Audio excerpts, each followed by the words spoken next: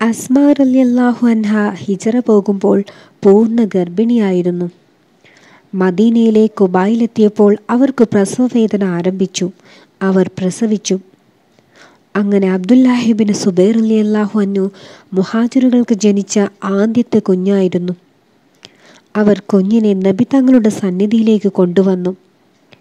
നബി സല്ലല്ലാഹു അലൈസല്ലമ കുട്ടിയെ ചുംബിക്കുകയും മധുരം നൽകുകയും ചെയ്തു. അബ്ദുല്ല റലി അള്ളാഹുനുവിന്റെ ജനനത്തിൽ മുസ്ലിങ്ങൾ അതീവ സന്തുഷ്ടരായിരുന്നു. കാരണം തദ്ദേശീയരായ ജൂതന്മാർ ഒരു കിംവദന്തി പറഞ്ഞു പരത്തിയിരുന്നു. ജൂതജോത്സ്യന്മാരുടെ മാരണം നിമിത്തം മുസ്ലിം സ്ത്രീകൾക്ക് വന്ധ്യത ബാധിച്ചിരിക്കുന്നു എന്നതായിരുന്നു പ്രചാരണം. മുസ്ലിങ്ങൾ കുഞ്ഞിനെ എടുത്ത് തഹലേലും തകബീറും ചൊല്ലി സന്തോഷം പ്രകടിപ്പിച്ചു.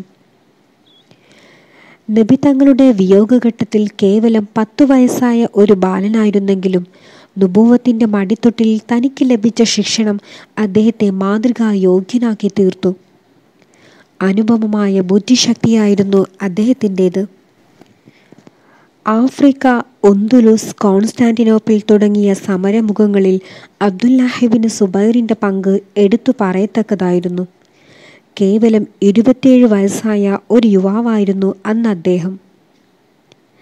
അബ്ദുല്ലാഹിബിന് അബി സാഹിന്റെ നേതൃത്വത്തിൽ ഇരുപതിനായിരം മാത്രം വരുന്ന മുസ്ലിം സൈന്യം അവരുടെ ആറിരട്ടി വരുന്ന ഒരു ഘോര സൈന്യത്തോടാണ് ആഫ്രിക്കയിൽ ഏറ്റുമുട്ടിയത്. നിർണായകമായ ഒരു സമരമായിരുന്നു അത്. അബ്ദുല്ലാഹിബിൻ സുബൈർ അലി അള്ളാഹുനുവിന്റെ അതിസാഹസികവും ധൈര്യപൂർണവുമായ നടപടി ഉണ്ടായിരുന്നില്ലെങ്കിൽ മുസ്ലിം സൈന്യം നാമാവശേഷമാകുമായിരുന്നു. യുദ്ധം കൊടുമ്പിരി കൊള്ളുമ്പോൾ അബ്ദുല്ലാഹിബിന് സുബൈർ അലി അള്ളാഹുനു ശത്രുവിന്റെ ശക്തിയുടെ ഉറവിടം രാജാവും സൈന്യനായകനുമാണെന്ന് മനസ്സിലാക്കി. അവരുടെ കഥ കടിച്ചാൽ ശത്രുക്കൾ പരാജയപ്പെടുമെന്ന് ഉറപ്പാണ്. പക്ഷെ എങ്ങനെ സാധിക്കും? എല്ലാം അള്ളാഹുവിൽ അർപ്പിച്ചുകൊണ്ട് അദ്ദേഹം ഒരു തീരുമാനമെടുത്തു. നിപുണരും ധൈര്യശാലികളുമായ ഒരു ചെറിയ സംഘത്തെ തെരഞ്ഞെടുത്തു അവരോട് ആജ്ഞാപിച്ചു. എന്തു വന്നാലും എന്റെ പിൻവശം കാത്തുകൊണ്ട് എന്നെ അനുഗമിക്കുക. അദ്ദേഹം ശത്രുനിരയിലേക്ക് ഒരു ശരം പോലെ അതിവേഗം ഊളിയിട്ടിറങ്ങി. പിന്നിൽ കൂട്ടുകാരും. അപ്രതീക്ഷിതമായ ആ മുന്നേറ്റത്തെ തടുക്കാൻ ശത്രുനിര അശക്തമായിരുന്നു. അവർ നേരെ നിലയുറപ്പിച്ചത് ചക്രവർത്തിയുടെയും സൈന്യനായകന്റെയും അടുത്തായിരുന്നു. ഞൊടിയിട കൊണ്ട് ആ രണ്ടുപേരുടെയും കഥ കഴിച്ചു. അവർ ഉച്ചത്തിൽ തക്ബീർ മുഴക്കി പതാക പൊക്കിപ്പിടിച്ചു ശത്രുപക്ഷത്തിന്റെ മസ്തിഷ്കം തകർത്തു. വൈജയന്തി ഉയർന്നത് കണ്ട മുസ്ലിം സൈന്യം യുദ്ധത്തിന്റെ കലാശമാണ് നടക്കുന്നതെന്ന് ഊഹിച്ച് ആവേശത്തോടെ ഒറ്റക്കെട്ടായി മുന്നേറി. അതവരെ വിജയത്തിലെത്തിക്കുകയും ചെയ്തു. വിജയത്തിന്റെ ശില്പി എന്ന നിലയ്ക്ക് സന്തോഷവാർത്തയുമായി ഖലീഫ ഉസ്മാൻ അലി അള്ളാഹു എന്നുവിന്റെ സന്നിധിയിലേക്ക് സൈന്യനായകൻ അയച്ചത് ഇബന് സുബേറിനെ തന്നെയായിരുന്നു. ഭക്തനും ആരാധനാ നിരതനുമായിരുന്നു അദ്ദേഹം. അദ്ദേഹത്തിന്റെ കുലീനത തറവാട് സ്ഥാനമാനങ്ങൾ ധനം കഴിവ് ഇവയൊന്നും തന്നെ ആരാധനയ്ക്ക് തടസ്സമായിരുന്നില്ല. പകലിൽ നോമ്പും രാത്രിയിൽ നമസ്കാരവുമായി അദ്ദേഹം കഴിഞ്ഞുകൂടി. ഇബിനു അബി മുലൈക്ക അദ്ദേഹത്തെക്കുറിച്ച് ഒമർ ബിൻ അബ്ദുൽ അസീസിനോട് വിശദീകരിച്ചു. ഞാൻ അദ്ദേഹത്തെ പോലെ ഒരു മനുഷ്യ സൃഷ്ടിയെ കണ്ടിട്ടില്ല. നമസ്കാരത്തിൽ പ്രവേശിച്ചാൽ എല്ലാ കാര്യങ്ങളിൽ നിന്നും അതിലേക്ക് തിരിയും. സുജൂതിലും റുക്കൂയിലും നിശ്ചലമായി കിടക്കുമ്പോൾ കുരുവികൾ ശരീരത്തിൽ ചെന്നിരിക്കുമായിരുന്നു. ഒരിക്കൽ നമസ്കരിച്ചു കൊണ്ടിരിക്കുമ്പോൾ തെറ്റാലയിൽ നിന്ന് ഉതിർത്തുവിട്ട കല്ല് തന്റെ താടിയുടെയും നെഞ്ചിന്റെയും ഇടയിലൂടെ കടന്നുപോയി. അദ്ദേഹം അതറിയുകയോ പൊട്ടിത്തെറിക്കുകയോ ചെയ്തില്ല. അബ്ദുല്ലാഹിബിനു അബ്ബാസ് റലിയല്ലാഹുവിനു അദ്ദേഹത്തെ വിലയിരുത്തുന്നു. ഖുർആൻ പാരായണം ചെയ്തും നബിചര്യ പിന്തുടർന്നും അള്ളാഹുവിന് വഴിപ്പെട്ടും ചൂടുകഠിനമായ പകലുകളിൽ ദൈവത്തെ പേടിച്ച് വ്രതമനുഷ്ഠിച്ചും അദ്ദേഹം ജീവിച്ചു. അദ്ദേഹം നബി സല്ലാഹു അലൈസല്ലമയുടെ ഇഷ്ടത്തോഴന്റെ പുത്രനാണ്. അബൂബക്കർ സിദ്ദീഖ് റലിയല്ലാഹു അനുവിന്റെ പുത്രി അസ്മ ബീവിയാണ് അദ്ദേഹത്തിന്റെ മാതാവ്. പ്രവാചക പത്നി ആയിഷ അലി അള്ളാഹു അന്ന മാതൃ സഹോദരിയും. അള്ളാഹു അന്ധത നൽകിയ അഭിശപ്തന്മാരല്ലാതെ അദ്ദേഹത്തിന്റെ പദവിയെക്കുറിച്ച് അജ്ഞരാവുകയില്ല. തനിക്ക് സത്യമെന്ന് തോന്നുന്ന മാർഗത്തിൽ നിന്ന് അദ്ദേഹത്തെ വ്യതിചലിപ്പിക്കാൻ ആർക്കും സാധ്യമായിരുന്നില്ല. ഒരിക്കൽ യസീദുബിന് മൊആവിയ തന്റെ സൈന്യനായകനായ ഉസൈനുബിന് നൊമൈറിനെ അദ്ദേഹത്തിന്റെ അടുത്തേക്ക് അയച്ചു. അമവികളുമായി സമരത്തിലേർപ്പെട്ടിരുന്ന ഘട്ടമായിരുന്നു അത്. ഇബിന് സുബൈർ അലി അള്ളാഹുനുവിനെ സാന്ത്വനപ്പെടുത്തി തന്റെ വശത്ത് തിരികെ കൊണ്ടുവരാൻ ഉദ്ദേശിച്ചായിരുന്നു യസീദ് അങ്ങനെ ചെയ്തത്. സൈന്യനായകൻ മക്കയിൽ ഇബിന് സുബൈർ അലി അള്ളാഹുനുവിനെ സമീപിച്ചപ്പോഴേക്കും യസീദ് മരണമടഞ്ഞിരുന്നു. സൈന്യനായകൻ ഇബിന് സുബൈറിനോട് തന്റെ കൂടെ സിറിയയിലേക്ക് പുറപ്പെടാൻ ആവശ്യപ്പെട്ടു.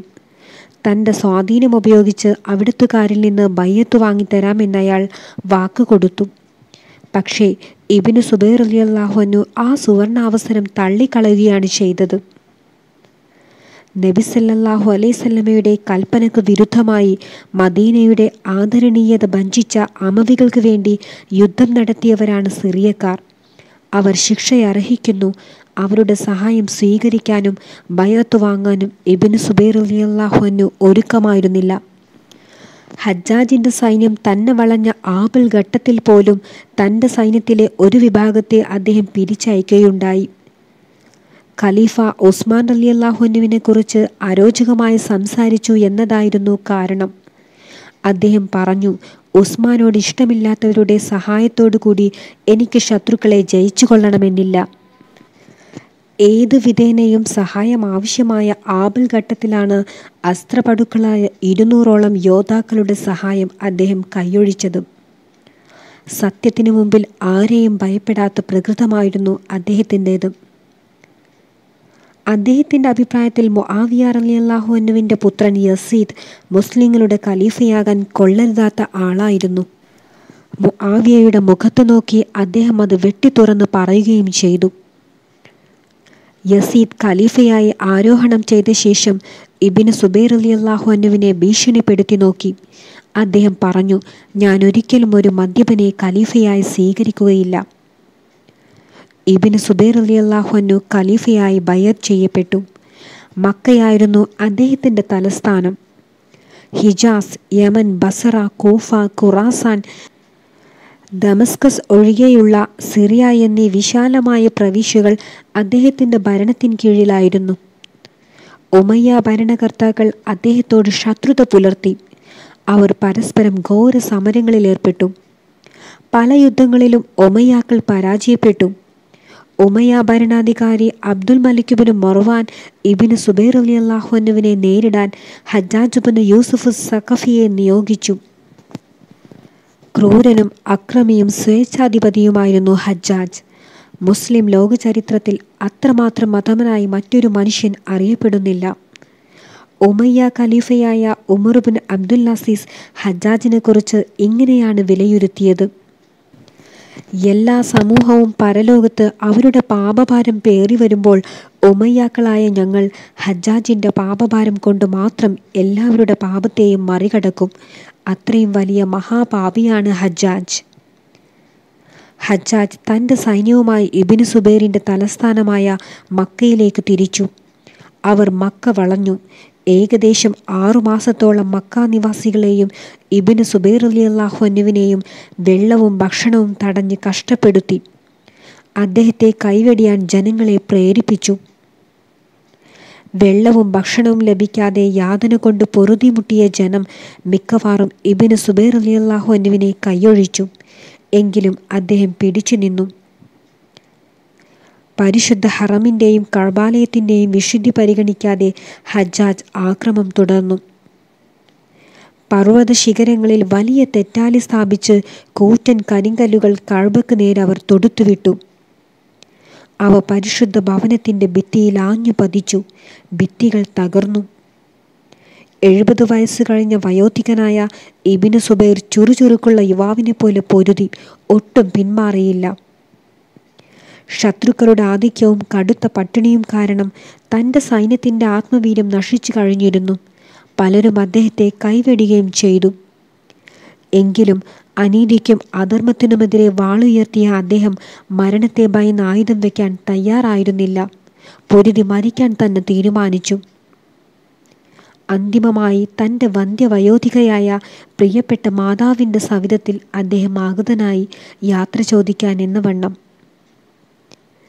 മാതാവ് അസ്മ റലിയല്ലാഹു അന്ന വനിതാ ലോകത്തിന്റെ മാതൃകാ ധന്യ മുസ്ലിം സമുദായത്തിന്റെ ഹർഷപുളകം തൊണ്ണൂറ്റിയേഴ് സംവത്സരം പൂർത്തിയാക്കിയ വൃദ്ധയാണെങ്കിലും ആ മാതാവിന്റെ മനസ്സിന് വാർദ്ധക്യം തീണ്ടിയിരുന്നില്ല. രണാങ്കണത്തിൽ നിന്ന് മടങ്ങി വന്ന പുത്രനോട് അവർ പറഞ്ഞു മോനെ നിന്റെ നിലപാട് നിനക്കറിയാമല്ലോ. നീ നിലകൊള്ളുന്നത് സത്യമാർഗത്തിലാണെങ്കിൽ നീ ക്ഷണിക്കുന്നത് സത്യത്തിലേക്കാണെങ്കിൽ ആ മാർഗത്തിൽ മരണം വരിക്കുന്നത് വരെ ക്ഷമ അവലംബിക്കണം. പിന്മാറാൻ പാടില്ല. ബനു ഒമയ്യയിലെ യുവാക്കൾക്ക് നീ കഴുത്ത് കാണിച്ചു കൊടുക്കരുത്. നേരെ മറിച്ച് ഐഹിക ലാഭമാണ് നീ ആഗ്രഹിക്കുന്നതെങ്കിൽ നീ വലിയ ഭാഗ്യദോഷി തന്നെ. നിന്നെയും നിനക്ക് വേണ്ടി ജീവത്യാഗം ചെയ്തവരെയും നശിപ്പിക്കുകയാണ് നീ ചെയ്തത്.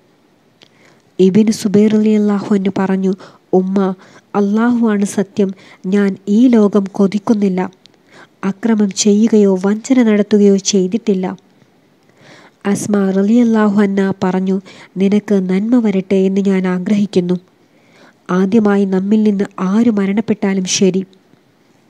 അനന്തരം അവർ തന്റെ പുത്രന് വേണ്ടി പ്രാർത്ഥിച്ചു നാഥ നീ എന്റെ പുത്രനോട് കരുണ കാണിക്കണമേ. രാത്രിയിൽ ദീർഘമായി അവൻ നമസ്കരിച്ചു. ചൂടുകൂടിയ പകലുകളിൽ അവൻ നോമ്പനുഷ്ഠിച്ചു. അവന്റെ പിതാവിനും എനിക്കും അവൻ നന്മ ചെയ്തു. ഞാൻ അവനെ നിന്റെ തീരുമാനത്തിന് വിടുന്നു. നീ എന്ത് വിധിച്ചാലും ഞാൻ സംതൃപ്തയാണ്.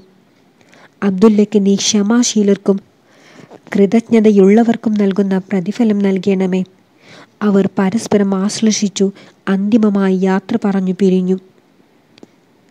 രണാങ്കണത്തിൽ മടങ്ങിയെത്തിയ അദ്ദേഹം പിന്നീട് അധിക സമയം ജീവിച്ചില്ല. മാരകമായ വെട്ടേറ്റ് അന്ത്യശ്വാസം വലിച്ചു.